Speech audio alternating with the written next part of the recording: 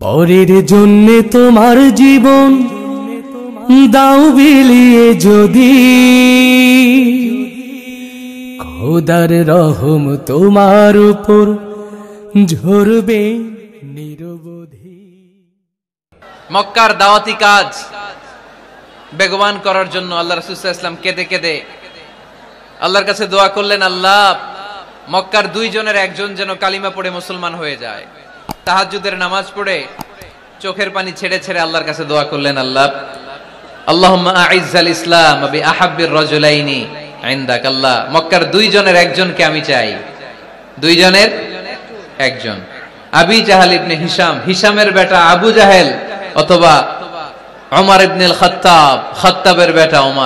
আল্লাহ হয় আবু জাহেলরা আপনি ইসলামের ছায়া তলে আনেন কিংবা ওমরে ফারুককে আনেন।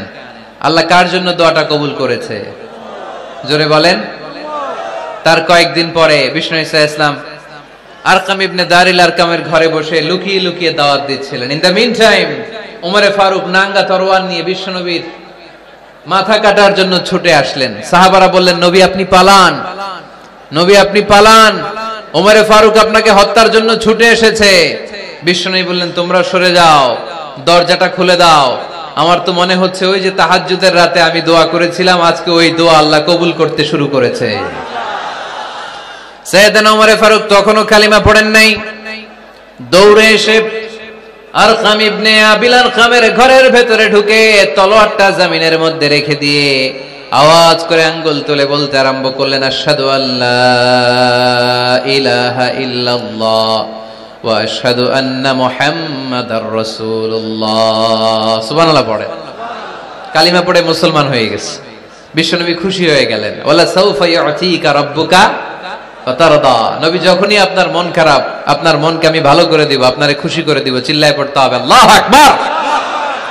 বিশ্বনবীর মন খারাপ ছিল। হঠাৎ সৈয়দনা ওমরে ফারুকের ইসলাম গ্রহণের মধ্য দিয়ে বিশ্বনবীর মন ভালো করে দিল কে? এবার ওমরে ফারুক বললেন, ইয়া রাসূলুল্লাহ এই যে কোরআনের বাণী আপনি প্রচার করেন, আলাইসাল কোরআন ও কিতাবুন হক, কোরআন কি সত্য কিতাব নয়? আপনারা আওয়াজ করে বলেন তো, আমাদের কোরআন কি সত্য কিতাব নয়? ইসলাম কি সত্য ধর্ম নয়? আল্লাহ কি আমাদের সঠিক রব নয়? তিনটা প্রশ্ন করলেন বিশ্বনবীকে। আপনাদের মতোই বিশ্বনবী বললেন হ্যাঁ কোরআনও সত্য, ইসলামও সত্য, আল্লাহও সত্য। এবার ওমরে ফারুক বললেন ফাফিম আল ইখতিফা। নবী তাহলে লুকিয়ে লুকিয়ে দাওয়াত দেন কেন? লুকিয়ে লুকিয়ে ঘরের ভিতরে কোরআন পড়েন কেন? আজকে থেকে আমি উমর আপনার সাথে আছি। বলতে পারলেন না মজা করে? আমি উমর আছি, দেখি কে আপনারে কি করে? বের হন ঘর থেকে। ঘর থেকে বের হয়ে প্রকাশ্যে দাওয়াত দেন। বিষ্ণু বললেন, না ওমর এটা মাক্কি জীবন, এখানে গোপনে দাওয়াত দিতে হবে। ওমরে ফারুক বললেন, নবী, তাহলে আমাকে একটা মিছিলের অনুমতি দেন। কিসের অনুমতি? আপনাদের চুয়াডাঙ্গায় মিছিল টিছিল হয় নাকি? হয় হয়।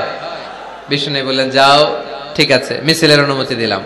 মোট এগারো জন তিনি পেলেন। হাতে গোনা অল্প কয়েকজন লোক কালিমা পড়ে মুসলমান হয়েছে। এগারো জনকে নিয়ে ওমরে ফারুক দুই লাইন বানালেন, পেছনে ছয় জন, সামনে পাঁচজন দ্বিতীয় লাইনের নেতা বানালেন বিশ্বনবীর চাচা হামজা ইবনে আব্দুল মোত্তালেবকে। প্রথম লাইনের নেতা হলেন ওমরে ফারুক নিজেই। তারপরে এক বাক্যের একটা ভাষণ দিলেন। কয় বাক্যের? তিনি বললেন, মান আরাদ আন তাসকুলা উম্মু ইয়াতামা ওয়ালাদু তারমিলা জাওজাতুহু ফালিয়াসুদ্দানি। ওমরে ফারুক মিছিলের সামনে দাঁড়িয়ে মক্কাবাসীদেরকে শোনানোর জন্য বললেন, উদ্দেশ্য করে বললেন, কে আছো? কে আছো? মান আরাদান তাসকুলা উম্ম, কে আছো মায়ের বুক খালি করতে চাও? কে আছো সন্তানগুলোর ইয়াতিম বানাতে চাও? কে আছো মক্কায় স্ত্রীদেরকে বিধবা করতে চাও? বুকের পাটা থাকলে আমি ওমরের সামনে এসে দাঁড়াও। কেউ সামনে আসতে পারে নাই। ওমরে ফারুক স্লোগান তুললেন, আল্লাহ আকবার আল্লাহ আকবার আল্লাহ আকবার। আল্লাহ আকবার স্লোগান, আর কেউ শোনে নাই।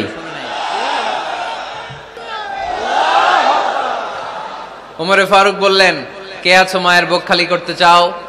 কে আছো সন্তানগুলোর এতিম বানাতে চাও? কে আছো স্ত্রীকে বিধবা বানাতে চাও? ফালিয়া সুদ্দানি, বুকের পাটা থাকলে সামনে এসে ঠেকাও। এ আল্লাহ আকবার স্লোগান শুরু করলেন। উমরে ফারুক বললেন, কাবা ঘর যে ধরবো, কাবা ঘর ধরার আগ পর্যন্ত কেউ উমরের মিছিল থামাতে পারবে? হঠাৎ মিছিল শুনে আবু জাহেল বেরোয় এলো। উতবা সাইবা ওয়ালিদ ইবনে মুগীরা, সব নেতা খাতারা বেরোয় আসলো। এসেই দেখে মিছিলের সামনে ওমর। মিছিলের সামনে কে? ওমরে ফারুককে দেখে সবগুলা দিছে দৌড়। মিছিল কেউ ঠেকাইতে পারে নাই। কাবার গিলাফ পর্যন্ত ওই মিছিল চলেছে। চিল্লায় বলো, আল্লাহ আকবার! ওমরে ফারুক এমন নেতা ছিলেন। শুধু আবু জাহেলি না, মুনাফিকরা ওমরে ফারুককে দেখলে ভয় পেত। এমনকি শয়তান ইবলিশ শয়তান ওমরে ফারুককে দেখলে আরেক রাস্তা দিয়ে হাঁটতো। আল্লাহ রাসুল বলতেন, মা সালাকা শাইতান সালিকান ফাজ্জান ইল্লা সালাকা ফাজ্জান গায়রা ফাজ্জিক। ওমর, শয়তান যদি তোমাকে এই রাস্তা দিয়ে আসতে দেখে, শয়তান এই রাস্তা রেখে দিয়ে আরেক রাস্তা দিয়ে হাঁটে। আবার আল্লাহ রাসূল ওয়াসাল্লাম বলেছেন, লা নাবিয়্যা বা'দি ওয়ালা রাসূলা। আমার পরে কোনো নবীও নাই, কোনো রাসূলও নাই। তবে লাউকানা বা'দি নাবিয়্যুন লাকানা ওমর। আমার পরে যদি নবী হওয়ার যোগ্যতা কারও থাকে, আমার সাহাবি ওমরের সেই যোগ্যতা আছে, পড়েন সুবাহান আল্লাহ প্রভু তুমি বলেছ, রাসূল দেবে না। বলনি দেবে না, ওমর। বলনি দেবে না, হামজা তারি, খালিদ জয় সমর প্রভু তুমি বলেছ, রসুল দেবে না। বলনি দেবে না, ওমর। বলনি দেবে না হামজা তারি, খালিদ বিজয় সমর। প্রভু তুমি বলেছ, রসুল দেবে না। সুবহানাল্লাহ, পড়েন। ওমরে ফারুক, ওরকম একটা ওমরের দরকার বাংলাদেশে, চিল্লায় বলেন ঠিক কিনা? ওই একটা ওমর যদি বাংলাদেশে থাকতো, টেন্ডারবাজি একদিনে বন্ধ হয়ে যেত। ওই এক ওমরে ফারুক যদি বাংলার জমিনে থাকতো, চাঁদাবাজি থাকতো না। নুসরাতের মতো কোনো মেয়েকে ধর্ষিত হওয়া লাগতো না। পেঁয়াজের দাম বাড়িয়ে সাধারণ মানুষের কষ্ট দেওয়ার সাহস কেউ করতো না। লবণের মতো নিত্য প্রয়োজনীয় জিনিসের দাম বাড়ানোর গুজব তোলার মতো সাহস কেউ পেত না, চিল্লায় বলো, ঠিক কিনা? কোটি কোটি টাকার নোট ছিঁড়ে ছিঁড়ে কেউ পানির মধ্যে ফেলার সাহস তুলতো না, চিল্লায় বলো, ঠিক কিনা? এক লোক তার স্ত্রীকে একশো তালাক দিল। কয় তালাক? আরও জোরে বলেন। এবার স্ত্রী এসে বিচার দিল, ওমরে ফারুক, আমার স্বামী আমার একশো তালাক দিস ওমরে ফারুক বললেন, ঘটনা কি? তালাক দিবে তিন তালাক। তোমার স্বামী তোমার একশো তালাক দেয় কেন? স্বামীরে ডেকে নিয়ে আস। ডেকে নিয়ে আসা হলো, জিজ্ঞেস করা হলো, কিরে, কয় তালাক দিলি? কয় একশো তালাক। ওমরে ফারুক বললেন, তালাক দিবা তিনটা, একশো তালাক দিলা কেন? স্বামী বলে, মেজাজ খুব গরম আছিল। মেজাজ? আমাদের মাঝে মাঝে মেজাজ গরম থাকে না। সব তালাক দিয়ে ফেলায়। তুই তালাক, তোর মাও তালাক। কত বড় ডাকাই বউরেও তালাক দেয়, শাশুড়িরও তালাক মারে। আছে না নাই? আলহামদুলিল্লাহ, চুয়াডাঙ্গা এরকম নাই। ওমরে ফারুক বললেন, দিবা তিন তালাক, একশো তালাক দিলা কেন? সে বলে, ওমরে ফারুক, মেজাজ গরম ছিল। ওমরে ফারুক বললেন, তাই? মেজাজ গরম ছিল, ঠিক আছে, আমি বিচার করতেছি। তিন তালাকে তোর বউ তালাক, বাকি সাতানব্বই তালাক তোর পিঠের উপরে পড়বে। এরকম বিচার যদি বাংলার জামিনে থাকতো, কেউ আর এরকম ইসলামের কোনো বিষয় নিয়ে কথা বলার ধৃষ্টতা দেখানোর সাহস পেত? কোরআনকে গালি দেওয়ার সাহস পেত? আমার নবীর নামে কার্টুন বানানোর সাহস পেত? আমার নবীকে নিয়ে ফিল্ম বানানোর সাহস পেত? বিশ্ব নবীকে গালি দেওয়ার সাহস পেত? ইসলাম নিয়ে কটু কথা বলার সাহস পেত? আমরা সব বিষয়ে কথা শুনতে রাজি। আমার নবীরে গালি দিলে খবর আছে না নাই? আমার নবীর দিকে যদি কেউ বা হাত তুলে তাকায়, ওই বা হাত কেমন করে ভেঙে দিতে হয় সেটাও আমরা জানি চিল্লায় বলো, ঠিক কিনা? ইসলামের বিরুদ্ধে যদি কথা বলে, ওইটা আমরা সহ্য করি না, চিল্লায় বলেন, ঠিক কিনা? আমার নবীরে গালি দিলে, আমার কোরআনকে গালি দিলে, আমার আল্লাহরে গালি দিলে, আমার ইসলামকে গালি দিলে আমাদের কলিজায় আগুন ধরে কি ধরে না? নবীকে গালি দিলে কলিজায় আগুন লাগে? কোরআনকে গালি দিলে কলিজায় আগুন লাগে? কার কার কলিজায় আগুন লাগে? হাত তুলে আল্লাহর দেখা।